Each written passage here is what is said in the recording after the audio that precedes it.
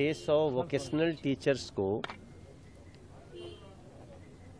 ये सरकार जिसके मुखिया जेल में हैं, लेकिन जेल में रह कर के भी दिल्ली के लोगों को तकलीफ़ देना नहीं छोड़ रहे हैं। वोकेशनल टीचर्स जो काफ़ी लंबे समय से, कोई 90 से अपॉइंटेड है, कोई चौरासी से अपॉइंटेड है, और उन लोगों को नौकरी से निकालने का काम किया, साजिश किया वो हमारे पास आए, हम लोगों ने उनकी समस्या को समझा, हम सभी सांसद आज एलजी महोदय से मिले और एलजी महोदय को उन 600 टीचर्स, लगभग पाँच सौ चौरानवे हैं तो उनकी बातें हमने उन लोगों को बताई। अब देखिए, वो टीचर्स ने इस समय कोई 45 साल का है, कोई 50 साल का है, कोई बावन कोई तो इसी महीने सत्ताईस जून को एक उसकी नौकरी, क्या बोलते हैं, उस रिटायर होने वाले हैं। रिटायरमेंट है, कुछ की अगले महीने, कुछ की एक साल बाद है। मगर ऐसी निर्ममता से उनको नौकरी से निकाल दिया एक ईमेल करके और वो सभी हमारे पास भाग करके आए, हमारे क्षेत्र के लोग। फिर आज हम लोगों ने मिलाया। जी महोदय ने बहुत ही ध्यान से उनकी बात सुनी है और उन्होंने इसमें रिपोर्ट मंगा ली है।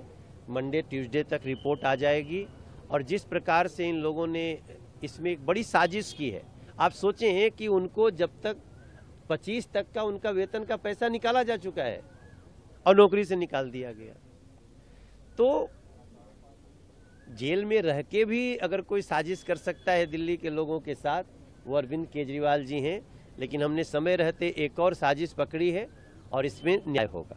पेंशन जो आतिशी का दूसरा दिन है, लगातार आरोप लगाए जा रहे हैं कि हरियाणा से पानी नहीं छोड़ा जा रहा है। उपराज्यपाल हाउस की तरफ़ से स्टेटमेंट जारी हुआ है कि एक तरह से बदनाम किया जा रहा है। हरियाणा खुद कारसिटी झेल रहा है। लीकेज दिल्ली के अंदर है, जो बड़ा कारण देखिए, आतिशी जी का जो अनशन है, वो मुझे तो लगता है अरविंद केजरीवाल के खिलाफ है। भाई, अरविंद केजरीवाल की सरकार है ना? आतिशी जल मंत्री हैं। तो जो सरकार में है, वही अनशन पे है।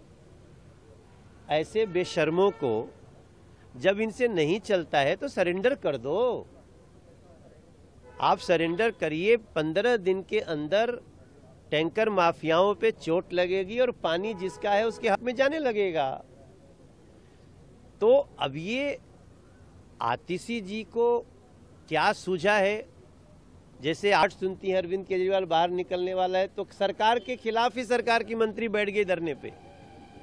इसके अंदर बहुत सारी चीज़ें चल रही हैं और मुझे लगता है, अब दिल्ली की जनता को आप अगर नासमझ समझते हैं, आतिशी जी या आम आदमी पार्टी के लोग तो अब दिल्ली की जनता इस भ्रम में आने वाली नहीं है।